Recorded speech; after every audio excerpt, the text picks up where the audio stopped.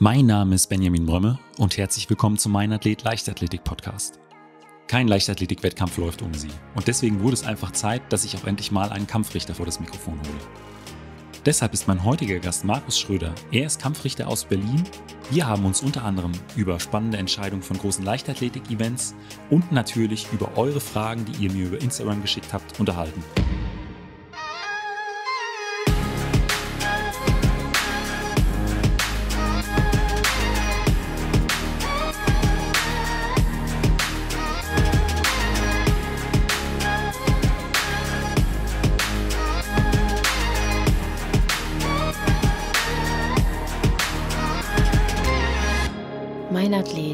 Leichtathletik-Podcast aus Frankfurt am Main. Herzlich willkommen, Markus.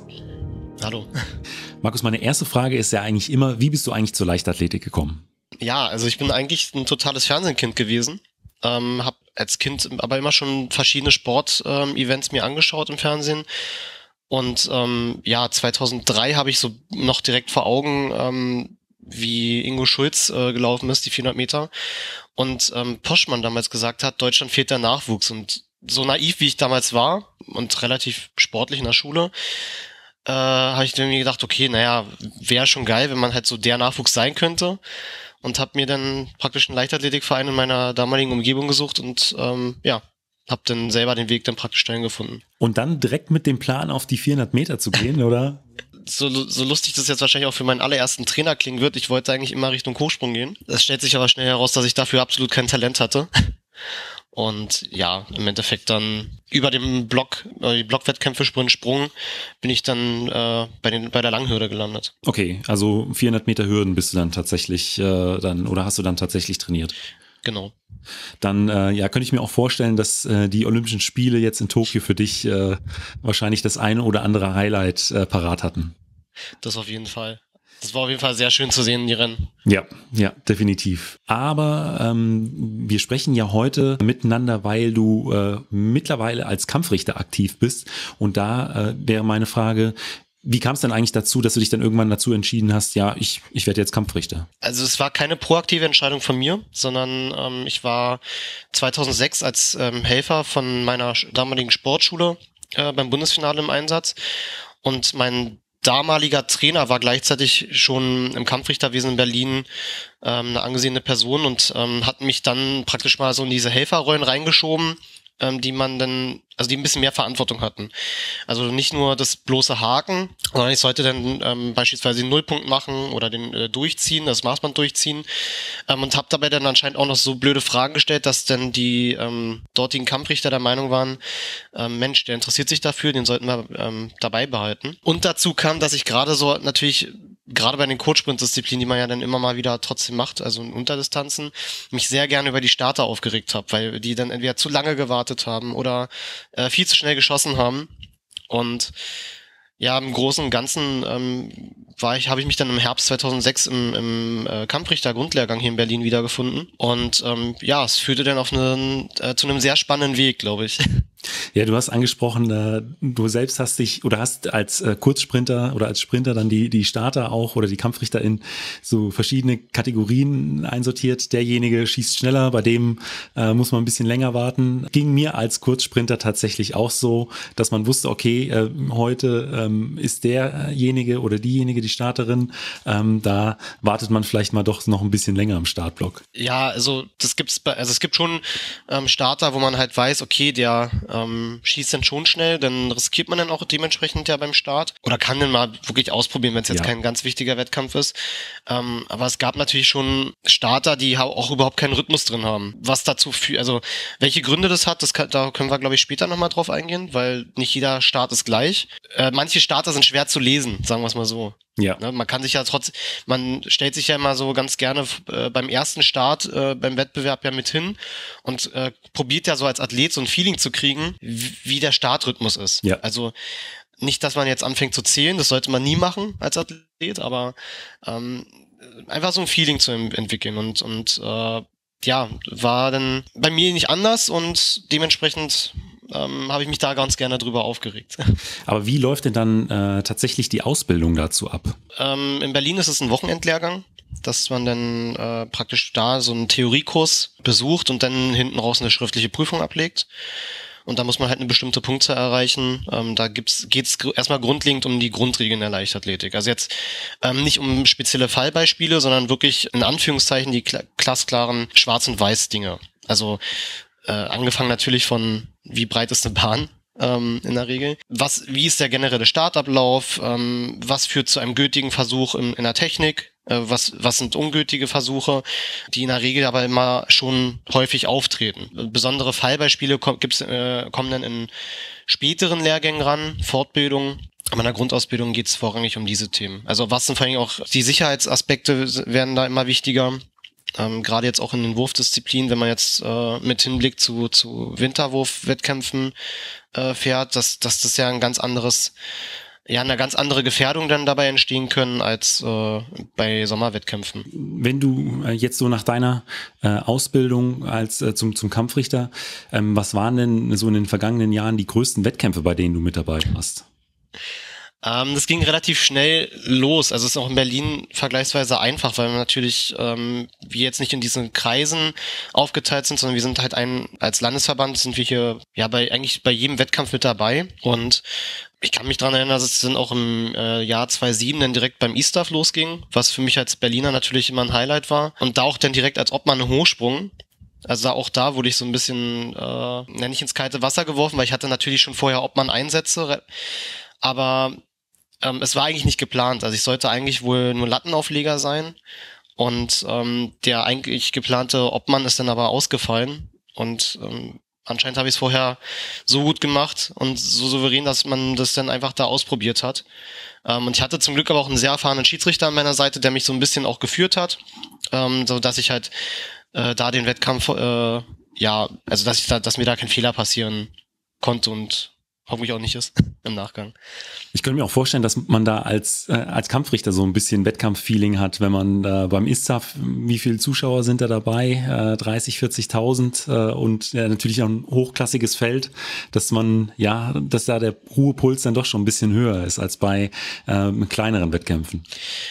Definitiv. Also natürlich für mich als Berliner war es, ist, es eh immer ein Highlight, in diesem Stadion zu sein. Das hat einfach eine besondere Magie. Ähm, ich denke, du kennst es selber, wenn du da immer wieder mal drin bist.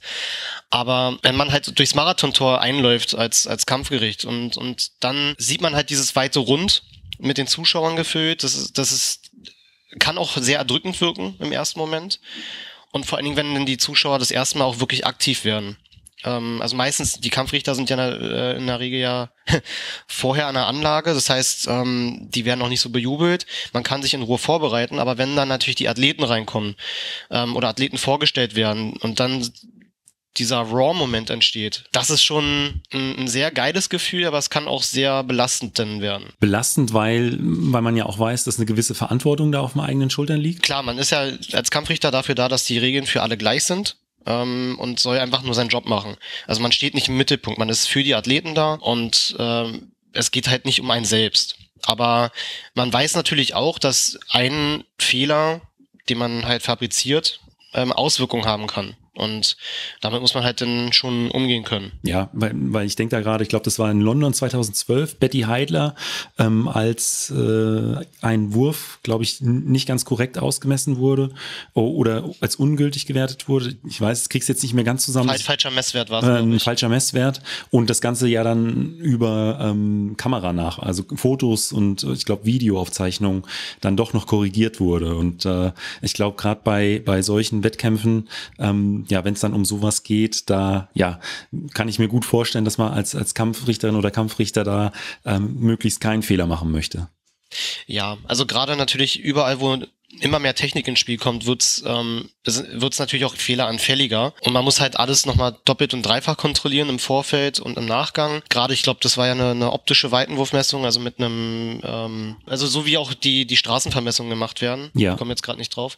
Aber der Wert war wohl im System bei, bei dem Messer drin, aber ist halt falsch ans Protokoll übermittelt worden. Irgendwie so. Habe ich es, glaube ich, in Erinnerung. Und da muss man halt schon sagen, okay, te die Technik erleichtert einen auch alles, aber manchmal hilft auch das gute alte Maßband. wo man das halt direkt vor Augen hat, auch die Weite. Ähm, und natürlich ein sehr gut äh, geführtes äh, Protokoll. Also denn vom Protokollführer beziehungsweise vom ähm, Schiedsrichter, der in der Regel ja auch ähm, das Protokoll nochmal mitführen soll. Und wie, wie läuft das dann in, in solchen Situationen ab? Weil wir haben jetzt hier über die Geschichte mit Betty Heidler gesprochen, aber es gab ja jetzt auch äh, gerade bei den letzten Olympischen Spielen äh, die eine oder andere äh, Entscheidung, wo äh, das Kampfgericht gefragt war, zum Beispiel die Mixed 4x400 mit den äh, Amerikanern oder auch äh, das Hochsprungfinale der Männer ähm, war ja auch so ein Punkt, wie man, man hat ja dann in so Wettkampfsituationen auch nicht viel Zeit, um das Ganze dann auszudiskutieren. Meistens muss ja das dann doch sehr, sehr schnell gehen? Gibt es dann äh, im Prinzip einen am Ende, der den Hut, äh, den, den Hut auf hat oder ist es irgendwie eine, eine demokratische Entscheidung? Wie, wie kann man sich das vorstellen? Nein, also ähm, in der Regel bei technischen Disziplinen ähm, wird ja die erste Entscheidung immer vom Obmann gefällt. Der entscheidet ja über die Gültigkeit oder Nichtgültigkeit eines, eines Versuches. Diese Entscheidung kann vom oder sollte dann auch natürlich im, im Fehlerfall vom Schiedsrichter korrigiert werden. Also die Leichtathletik ist da sehr hierarchisch aufgestellt, mit ganz klaren Funktionen, die jeder einz der die äh, jede einzelne Person da einnehmen soll. Im Lauf ist es aber noch schwieriger, weil anders als bei einem technischen Wettbewerb, wo man halt auch mal ein bisschen also die Zeit zwischen den Versuchen noch nutzen kann, um dann vielleicht schon einen Fehler zu finden und schnell zu korrigieren, ist es nun mal so, ein Lauf, wenn der passiert ist und der, der Bahnrichter trifft, hebt die Fahne, weil er sieht ein Bahnvergehen, also jemand ist auf die Linie getreten oder zieht sein Nachziehbein unter der äh, Hürden, unter Hürdenniveau durch, ähm, dann ist es erstmal eine Entscheidung. Die trägt er weiter und ähm, die wird dann vom Schiedsrichter gefällt. Und dagegen kann dann äh, ja ein Einspruch oder ein Protest eingelegt werden und dieser wird dann halt entsprechend vor, also wenn der Schiedsrichter den ablehnt, geht es halt äh, vor die Jury of Appeal. So, und ähm, im Fall jetzt der 4x4 wird halt erstmal eine Entscheidung getroffen. Die Athletin ist äh, zwar in der Wechselzone losgelaufen, aber halt am falschen Ende und hat dadurch den Staffelstab außerhalb der Wechselzone bekommen. Ist dann erst, also aus unserer Sicht erstmal als Außenstehender Fehler des Athleten. Aber wenn es natürlich dazu geführt hat, dass die Athletin falsch hingestellt worden ist durch den Kampfrichter, dann ist es, ähm, dann zählt die ähm, Fehlerkette. Das heißt, wenn ich einen, als Athleten Fehler nicht direkt verursacht habe, sondern ich wurde zu einem Fehler gedrängt, aufgrund einer falschen Info ja. von einem Offiziellen, dann kann ich dafür als Athlet nicht belangt werden. Ja, das ist eigentlich ganz interessant, weil ähm, ich sag mal, äh, sowas passiert bei Olympischen Spielen und sowas passiert mit Sicherheit auch mal bei äh, Jugendmeisterschaften oder bei Vereinssportfesten. Und ich glaube, äh, wenn man das so als Athletin oder als Athlet im Hinterkopf hat, äh, ist es äh, nicht verkehrt. Genau, also ich kann generell eigentlich nur jedem Athleten oder jeder Athletin empfehlen, äh, eine Kampfrichtergrundausbildung zu machen, weil es schadet nie, äh, Regelwissen über die eigene Sportart zu haben. Auch wenn ich halt permanent nur ähm, Hochsprung mache. Aber auch da ähm, ist es immer gut zu wissen, was passiert, wenn. Weil auch ein Kampfgericht kann Fehler machen und ich kann als Athlet ja auch die, das Kampfgericht darauf hinweisen in dem Moment. Ähm, und die, die Kampfrichter sind halt natürlich auch nur Menschen. Und ähm, jeder Mensch macht einen Fehler. Darf nicht passieren, gerade je höherwertiger der Wettkampf ist, verlangt es natürlich auch jeder von der Person, die da im Einsatz ist. Aber überall, wo der Faktor Mensch oder, oder überhaupt Faktoren zum Einsatz kommen, auch Technik, ähm, können halt einfach Fehler passieren und das ist, ähm, solange man die halt korrigieren kann, ist jeder Hinweis dazu äh, auch äh, hilfreich. Was, was würdest du denn sagen, war ähm, bisher bei dir einer der, ja, vielleicht ein ganz besonderer Moment in, in deiner bisherigen äh, Karriere als, als Kampfrichter? Das war definitiv 2009 die Weltmeisterschaft hier in Berlin. Ähm, da war ich im Chorum im Einsatz und ähm, ja, das 100-Meter-Finale. Ähm, also ich hatte das Glück, dass ich zu dem Team gehört habe, was das 100-Meter-Finale ähm, betreuen durfte. Und ähm, das war schon ganz besonders, äh, wie die Jamaikaner, wie locker die da waren, während alle anderen wirklich wie versteinert da saßen und bloß nichts sagen wollten und sich auf sich konzentriert haben, haben die Jamaikaner im Chorroom getanzt und blöde Sprüche äh, abgelassen. Die waren sich ihrer Sache natürlich auch irgendwo vielleicht auch sicher, aber es, hat, es war auch interessant zu sehen, wie reagieren die anderen Athleten darauf. Und ähm, das, diesen Moment miterlebt zu haben, das war schon ganz speziell. Oder ein paar Tage später, weiß ich noch, beim zweiten Tag der Zehnkämpfer, da hatte ähm, mich Pascal Bärenbruch gefragt, ja, wie schwer ich denn wäre. Da, zu dem Zeitpunkt habe ich halt äh, 68 Kilo gewogen und meinte, ja perfekt, dann geh mal bitte auf meine Schultern. Und dann hat er da vor dem Hürdenlauf noch äh, Kniebeuge mit mir gemacht. Also das sind so kleine Momente, ähm, die halt diese WM für mich damals als 19-Jährigen auch sehr besonders gemacht haben. Ich muss auch sagen, das kann ich mir bei äh, Pascal sehr, sehr gut vorstellen. Er ist ja auch für die Eintracht gestartet und das passt, äh, passt perfekt. Ich habe hier gerade ähm, auf, meinem, auf meinem Computer, deswegen schiele ich so ein bisschen zur Seite, Wikipedia auf und schaue gerade auf äh, das Finale ähm, 2009 in Berlin. Also Usain Bolt war natürlich mit dabei, Tyson Gay, äh, Asafa Powell, äh, Daniel Bailey, äh, Richard Thompson, Dwayne Chambers, Mark Burns, äh, äh, Davis Patton aus den USA noch und ähm, Asafa Powell und Usain Bolt waren damals so die äh, entspanntesten, würdest du sagen, im, im Callroom. Definitiv.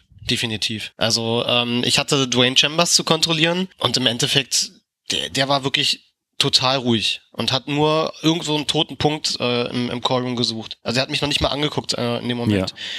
Und ähm, Asafa und Hussein, die ähm, haben sich halt so lauthals unterhalten. Also das war schon echt krass laut. Also das kann ich so im Nachgang gar nicht mehr so, so detailliert beschreiben, aber das ist einfach so ein Moment, der für immer sich eingebrannt hat. Und äh, aber unterscheidet sich das dann groß von einem Callroom, sage ich jetzt mal bei deutschen Meisterschaften, weil da, also meistens ist ja dann so, ist es wahrscheinlich eher so ein, äh, weiß nicht, ein Zelt oder ein Raum in der Nähe vom, vom Stadioneingang, alle sitzen dicht an dicht äh, und ist es da, ist es bei vor einem, vor einem WM-Finale tatsächlich dann auch so? Definitiv. Also klar, jeder Quorum unterscheidet sich ja auch äh, von den von den ähm, örtlichen ähm, Gegebenheiten. In Berlin war es halt so, dass im Bereich des Marathontor oder im Marathontor unter der Tribüne, ähm, wo eigentlich die ja, kleinen Busse parken sollen, waren mobile Stellwände aufgestellt, also Messewände. Und da hat man dann praktisch vier kleine Räume gemacht. Ähm, analog haben wir es auch 2018 dann hier wieder durchgeführt. Und ähm, wir haben dann, also die Stühle waren schon so verteilt, dass jetzt nicht jeder Athlet wie bei deutschen Meisterschaften so dicht an dicht. Meisterschaften, genau, so äh, auf einer Bierzeltgarnitur sitzt. Genau. Das waren dann schon, waren schon, waren schon richtige Stühle, dass man auch genug Platz hatte. Auch eine schöne Chorum-Geschichte ist ähm, von 2009, wie ich ähm, von Ariane Friedrich äh, ihre Tasche kontrollieren durfte, weil sie dann ihre ganzen Kosmetikartikel auspacken musste und wir dann da diskutiert haben, was muss jetzt abgeklebt werden wegen Werbung und was nicht. Die DV-Athleten hatten damals halt so ein, so ein riesen Nike-Handtuch und da war das Nike-Logo Nike war so groß, dass wir dann immer die Handtücher abgeklebt haben. Also eigentlich brauchtest du gar kein Handtuch mehr, weil eigentlich war das ganze Ding nur noch ein einziges Panzertape.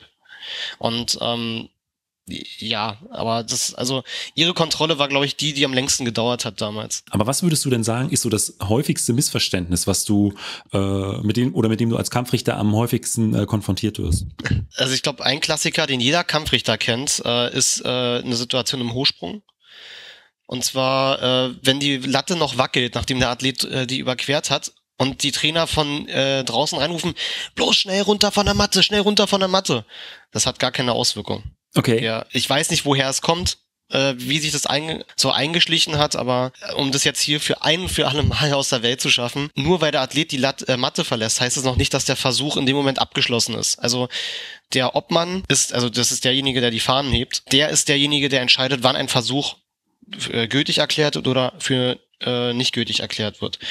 Und ähm, solange die Latte wackelt, ähm, und der, ähm, ob man sich nicht sicher ist, dass sie noch aufgrund dieser Lattenbewegung, Schwingbewegung ähm, fallen kann, gibt da den Versuch auch noch nicht gültig. Ne? Also weil, ja. wenn ich, wenn ich Latte streife und, und äh, aufgrund dieser Streifbewegung die Latte halt, halt noch so in Bewegung ist, dass sie noch fallen könnte, muss der Obmann auch so lange warten. Es ist, geht nicht darum, dass man damit dem Athleten was Böses machen möchte äh, oder antun möchte, aber so ist es halt leider festgeschrieben. Das genau. ist so ein Punkt, der äh, immer wieder, äh, immer wieder auftaucht. Ja, oder gerade beim 100-Meter-Start oder generell beim Start vom Sprint, wann denn jetzt überhaupt ein Fehlstart jetzt war. Also ist ein, Zuck, ein Zucker, ist es jetzt schon ein Fehlstart oder nicht? Das sind so die Klassiker, wo man auch ganz gerne dann nochmal mit dem einen oder anderen Athleten oder Trainer auch ähm, Diskussionen führen muss. Wie ist es denn da äh, tatsächlich? Also wenn man, man sitzt im Block, ähm, ja, zuckt tatsächlich nur so leicht, aber, aber drückt sich nicht ab. Ist es dann tatsächlich schon ein Fehlstart oder ähm, gibt es dann äh, die quasi die gelbe Karte? Also es ist kein Fehlstart, wenn man nur zuckt, solange sich keine Extremität vom Kontaktpunkt löst. Das ist jetzt sehr, Okay. sehr technisch gesprochen wieder. Also sprich, wenn sich keine Hand vom Boden oder von der Position wegbewegt und kein Fuß. Solange ich diesen Bodenkontakt oder den, den Kontakt nicht verliere und wieder praktisch zurück in meine Position gehe, ist es kein Fehlstart. Wird, wird der Start ähm, trotzdem zurückgeschossen. Es steht zwar in den Regeln geschrieben, okay, es ist derjenige ähm, zu disqualifizieren, der für den Startabbruch sorgte. Aber auch da muss man dann halt als, als Starterteam entscheiden, dass es halt, also er, er hat sich ja in dem Moment selber benachteiligt, derjenige, der zuckt. Und dem, dementsprechend äh, sieht man da ganz häufig, dass dann doch die gelbe Karte gezogen wird und dann kein Athlet rausgenommen wird.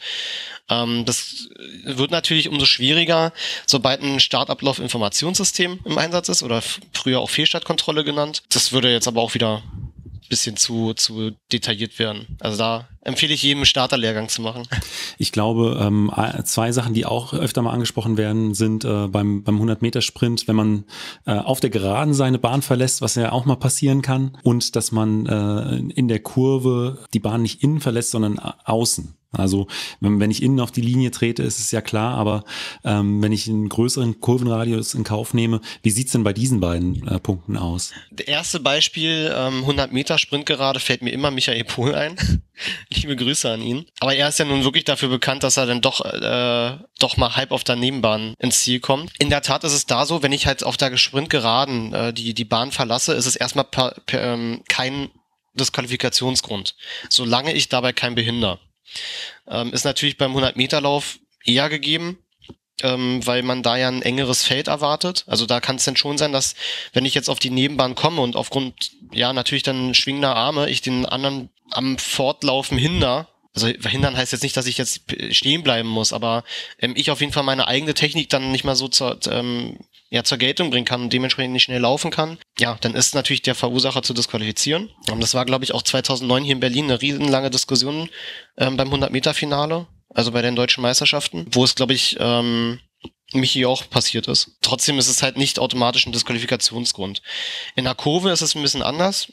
Ähm, generell ist, heißt es vom, vom Regelwerk, die innere Linie gehört nicht zu meiner Laufbahn. Ähm, ist logisch zu erklären, weil die, äh, ich kann ja auch äh, nicht auf Bahn 1 die Bahnkante betreten.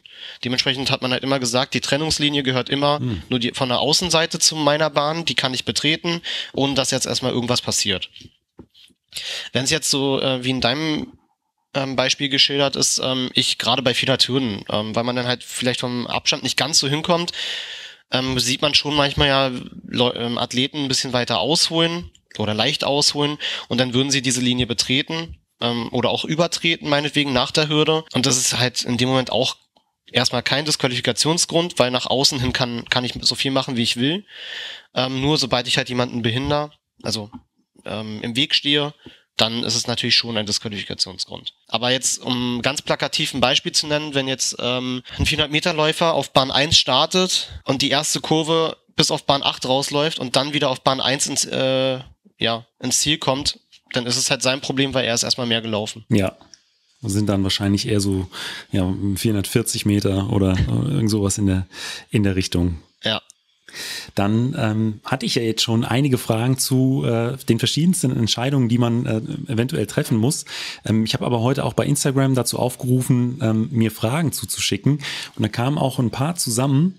Ähm, da würde ich vorschlagen, da gehen wir jetzt drauf ein. Fangen wir an mit äh, einer ersten Frage auch zum Sprint, äh, zu, äh, zum Staffelwechsel. Also hier fragt RBG, ähm, wie sind die genauen Regeln beim Staffelwechseln in den neuen Zonen? Ja, es gab ähm, vor boah, drei oder vier Jahren, jetzt nicht auf die Jahreszahl festlegen bitte, ähm, gab es eine Veränderung in den Wechselzonen. Und zwar beim 4x100 Meter Lauf ähm, war es ja vorher so, dass man äh, eine 20 Meter Wechselzone hatte plus 10 Meter Anlauf. Also den klassischen Vorwechselraum. Das war so eine kleine rote Markierung. Diese, dieser Vorwechselraum ist jetzt weggefallen und dafür wurde aber die Wechselzone verlängert. Das heißt, man hat jetzt hier sogar mehr Platz eigentlich, um den Wechsel durchzuführen, aber der, der Anlauf ist halt, ähm, zählt jetzt halt praktisch äh, oder muss halt in der, in der Wechselzone passieren. Also man startet jetzt in der Wechselzone und in der Wechselzone muss man auch den äh, Staffelstab äh, übernommen bzw. übergeben haben.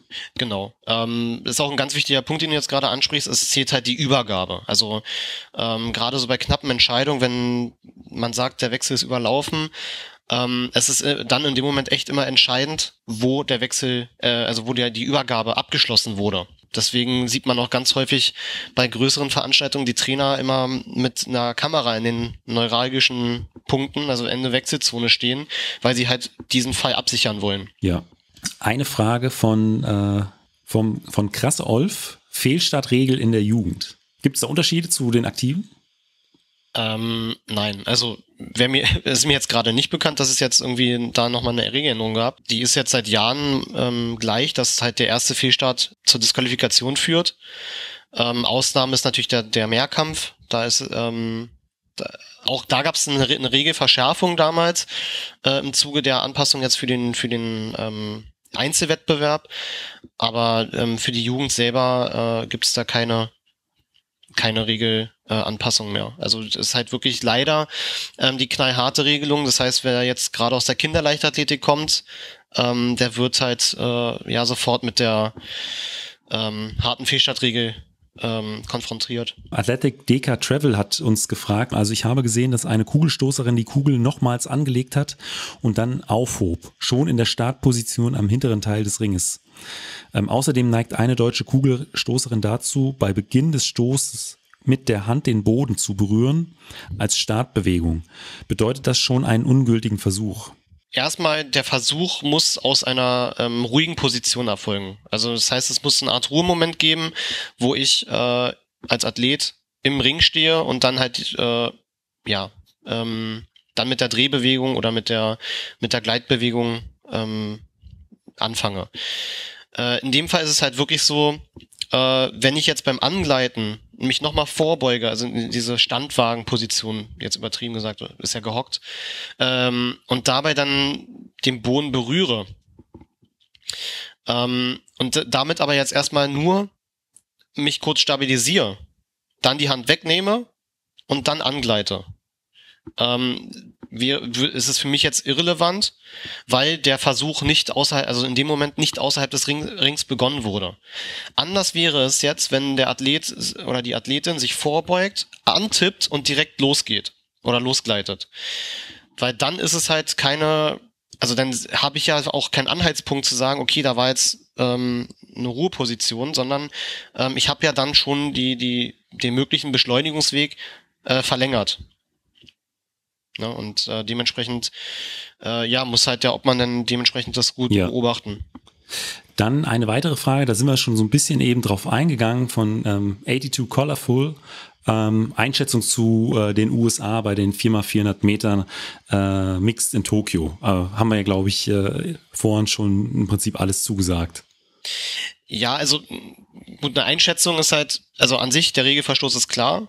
Ähm, Wenn es halt wirklich so war, ähm, dass halt ein, ein, Kampfrichter oder eine Kampfrichterin da den Fehler gemacht ha, äh, hat und die Athletin falsch positioniert hat, ähm, dann ist es halt klar, äh, in dem Moment nicht der Athlet zu belangen. Ähm, es ist trotzdem natürlich schon jetzt, jetzt spreche ich mal als Athlet und nicht als Kampfrichter. Es ist schon sehr komisch, dass äh, sieben andere Athleten im gleichen Lauf in derselben Position das hinbekommen und ähm, ich in dem Moment nicht. Ähm, und da klar, eine gewisse Aufregung gehört auch bei jedem Athleten dazu. Und das ist immer, ähm, das ist halt so ein Fingerspitzengefühl, was man dann auch als ents jeweiliger Entscheider ähm, entwickeln muss. Ähm, aber klar, es ist schon, ich glaube, man hat da ja eine sehr harmonische Lösung dann für auch für die deutsche Staffel ähm, gefunden mit mit der neunten ja. äh, neunten Startposition. Ähm, und ja, dementsprechend muss man jetzt die Entscheidung so hinnehmen. Aber es ist schon äh, was, wo man auch mal ein bisschen drüber diskutieren kann. Gab es ja auch ähm, die eine oder andere, andere Diskussion. Es, genau, es gibt immer ähm, genug Entscheidungen. Gerade bei je größer der Wettkampf ist, äh, muss man halt auch leider sagen, ähm, wo, wo es schon so ähm, Entscheidungen oder, oder Momente gibt, wo man drüber diskutieren muss und kann. Oder kann und muss, eher in der Reihenfolge. Aber es bleibt halt nicht aus. Es, sind, es ist halt nun mal, bei je größer der Wettkampf ist, umso mehr Kameras sind auf, auf die, diese Momente auch gerichtet. Ähm, aber die hat man auch in dem Moment nicht als, als äh, Kampfrichter. Also dementsprechend äh, ist es ja, für uns als Zuschauer sehr schön, weil man dann wie, ähnlich wie beim Fußball halt diese Stammtischdiskussion führen kann. Aber dem, also für den Kampfrichter selber ist es natürlich auch sehr unangenehm. Ja, das äh, könnte ich mir vorstellen, dass das dann das eine oder andere Mal doch ein bisschen stressig wird. Ja, definitiv. Dann fragt äh, Danny ähm, oder schreibt, am Startblock wurde mir verboten, meinen Zopf nachzuziehen. Ist es erlaubt oder nicht? Also wenn der Starter schon auf die Plätze sagt, dann ist in dem Moment äh, technisch gesehen der, also regeltechnisch gesehen, der Startvorgang im Ab oder am Ablaufen. Und das heißt dann, soll ich mich halt nur um den Start kümmern. Das heißt, ich gehe, kann zwar noch irgendwie äh, mich kurz dehnen oder also jetzt nicht jetzt ein ausführliches Dehnungsprogramm, aber man sieht es ja oft, wie einige sich doch nochmal kurz vorbeugen ähm, oder nochmal einen kleinen Spannungsaufbau machen, aber man muss eigentlich unverzüglich in den Block gehen und auch dann äh, bereit sein, dass dann das fertig kommt. Wenn ich aber im Startblock noch sitze und dann den, ja, mir noch die Haare richten muss, ähm, und wir reden jetzt hier nicht nur kurz vom Zopf mal kurz über die Schulter legen, was gerne, gerne gemacht wird, oder äh, praktisch aus dem Gesicht nehmen, nur zur Seite, dann äh, ja, würde man den Start abbrechen. Dann kann die Athletin sich den, den Zopf richten ähm, aber es das heißt jetzt nicht, dass ich mir dann noch den Zopf äh, im, in dem Moment flechten kann. wir haben ja am Anfang schon ein bisschen so darüber gesprochen, dass es äh, verschiedene Typen von, von äh, Startern äh, gibt bei, im, im Sprintbereich. Der eine äh, schießt schnell, der andere lässt sich relativ viel Zeit. Oder es gibt auch welche, äh, die kann man ganz schwer einschätzen. Ähm, als Sprinter kriegt man das natürlich auch mit, dass es da bei den Sportlerinnen und Sportlern die verschiedensten Typen gibt. Also manche gehen sofort äh, in den Block und sind nach äh, zwei Sekunden äh, bereit für, für das äh, Startkommando. Und andere, ja, die sind dann noch eine gefühlte Ewigkeit, stehen die hinter dem Block oder ja, ähm, bereiten sich dann noch im Block äh, ja unendlich lange auf, auf den Startschuss vor kategorisiert man da so auch so ein Stück weit äh, die Sportlerinnen und Sportler äh, ein? Also ich sag mal, bist ja mit Sicherheit äh, auch schon häufiger auf äh, bestimmte Athletinnen und Athleten getroffen, dass du dann schon weißt, okay, äh, wenn sie jetzt da im, in den Startblock geht, dann dauert es vielleicht dann doch noch mal ein bisschen länger als äh, bei, bei derjenigen oder bei einer anderen. Also ja, definitiv. Fangen wir einmal so an. Je höherklassiger der Wettkampf ist, umso länger dauert der Startablauf. Ähm, so kann man eigentlich schon mal immer das schon mal kategorisieren. Das heißt, man sieht's ja, ähm, je, je ja, wichtiger der Wettkampf ist, umso mehr lassen sich die Athleten auch Zeit. Warum auch immer. Dann, Kannst dir sagen. Ja. Es ist, äh, man, also mir ging es so, ich hatte keinen Bock, äh, ewig im Startblock zu sitzen und auf die anderen zu warten. Also äh, wenn man, ich fand das immer unglaublich äh, nervenzehrend, wenn, äh, wenn ich da drin saß und äh, dann noch irgendwie mitbekommen habe, dass, ja, keine Ahnung, irgendwelche äh, Spirenzien oder Spielchen da gemacht wurden. Man ist eigentlich hochkonzentriert äh, und deswegen, glaube ich, zögern das dann viele immer noch ein bisschen mehr raus, weil sie nicht derjenige sein wollen, äh, oder diejenige, die da am längsten im, im Startblock auf den, auf den Schuss wartet. Kann ich nachvollziehen, ist aber schon anstrengend. Man weiß aber auch, dass der ein oder andere Athlet natürlich auch von Natur aus ein bisschen äh, langsamer ist oder ruhiger ist. Hier in Berlin ein guter Freund, ähm, George Petzold, ähm, war so einer, der halt ja wirklich sehr langsam ähm, beim Kommando fertig mit seinem Hintern hochgekommen ist. Also der ist halt nicht ruckartig hoch, obwohl in der Regel auch steht, man muss unverzüglich die finale Startposition einnehmen. Allerdings kann ich jetzt auch nicht sagen, wenn er noch in einer fließenden Bewegung ist, er soll jetzt mal sich beeilen. Also macht man ja auch in der Regel nicht. Und er hat halt das aber auch für sich gebraucht, weil er so nur die Spannung aufrechterhalten konnte im Block.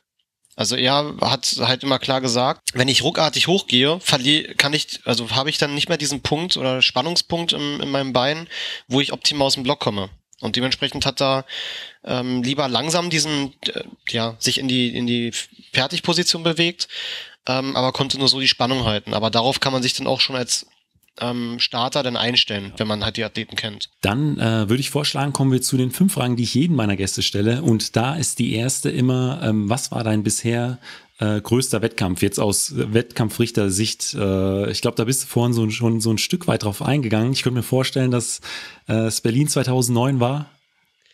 Ähm, genau, also es gibt, glaube ich, so drei Wettkämpfe, ähm, die ich so kategorisieren würde. Es gibt äh, einmal als Athlet selber die deutschen Meisterschaften 2008 in Nürnberg, wo ich mit der 4x4 gelaufen bin, ähm, also als Jugendstaffel. Ähm, das war natürlich ein Riesenerlebnis, war auch gleichzeitig erfolgreich.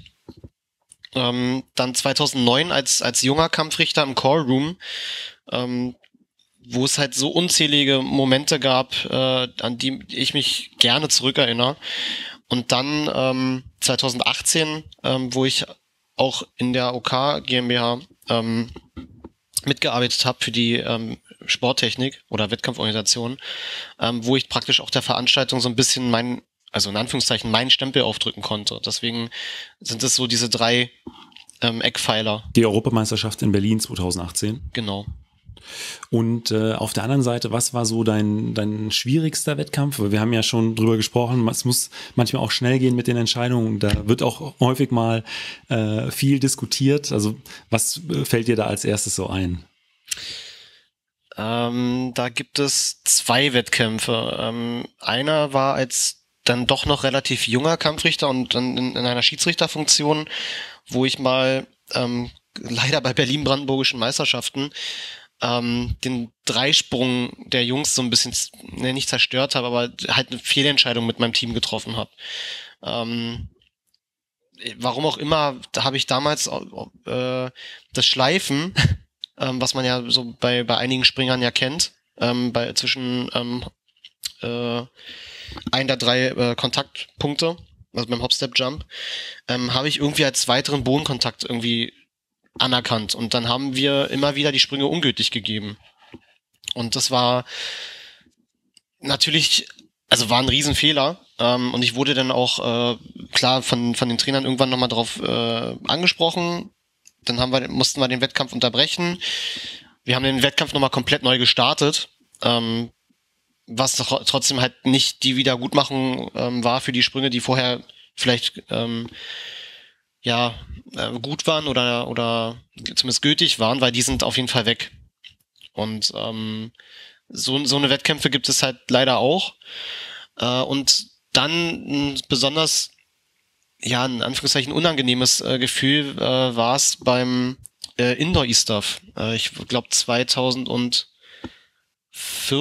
oder ne 2014 muss es glaube ich gewesen sein, ähm, wo ähm, ich zwar die Ehre hatte, ähm, die Männer zu schießen im Kurzsprint, äh, also bei den 60 Metern, aber dann das Problem hatte, dass äh, von sechs Bahnen am Ende nur noch äh, ja vier gelaufen sind, weil ähm, ja zwei rausgeschossen werden mussten. Und da war es auch so, dass ähm, ich glaube, es war damals Christian Blum äh, so langsam hochgekommen ist, dass die anderen rausgefallen sind. Ähm, es gab aber halt trotzdem diesen Ruhemoment, wo alle noch in der Fertigposition waren und ich dann schießen konnte. Aber sobald halt diese, also gewisse Abläufe halt drin sind, kann man halt nicht sagen, ja, nur weil der und der zu langsam waren, ähm, ja, äh, kann ich immer, kann ich die anderen jetzt nicht bestrafen.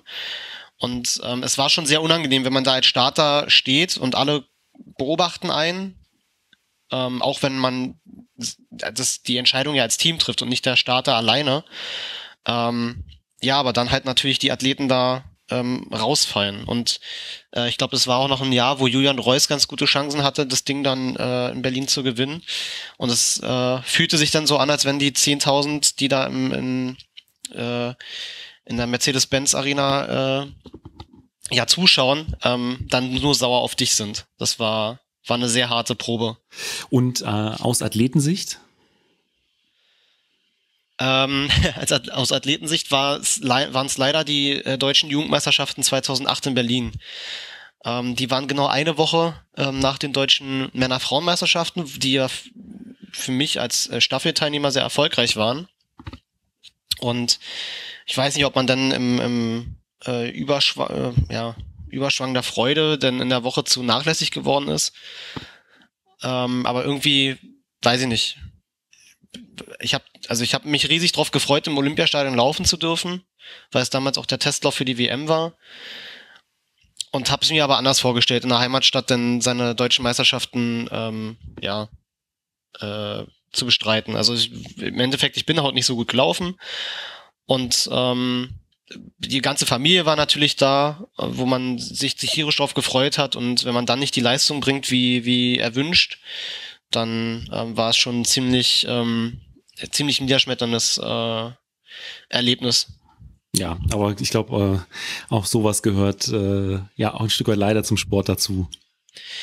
Äh, ja, definitiv. Also es macht ja auch den Sport aus, ne? Also gerade aus solchen, solchen ähm, unschönen Niederlagen lernt man eigentlich dann doch am meisten. Ähm, weil man dann doch irgendwie eine Einstellung nochmal wieder fürs nächste Jahr oder darauffolgende Jahr verändern will und kann. Und dementsprechend, äh, ja, war es eine ziemlich harte Lehre, aber ähm, eine, die halt nötig war. Und äh, nochmal rückblickend äh, auf, deine, auf deine Zeit als Athlet so im Training, was waren denn so ein Inhalte, auf die du dich ganz besonders gefreut hast? Ähm, boah. Gab eigentlich mehrere, weil, weil das für also es war so ein bisschen auch trainerabhängig. Äh, weil wenn man halt verschiedene Trainer hatte, dann, dann lernt man ja auch so ein bisschen verschiedene Philosophien kennen. Aber äh, ich kann mich halt erinnern, bei, bei einem einen Trainer habe ich halt eher so Hürdendrills ähm, ziemlich gerne gemacht, weil mir die einfach viel, total Spaß gemacht haben.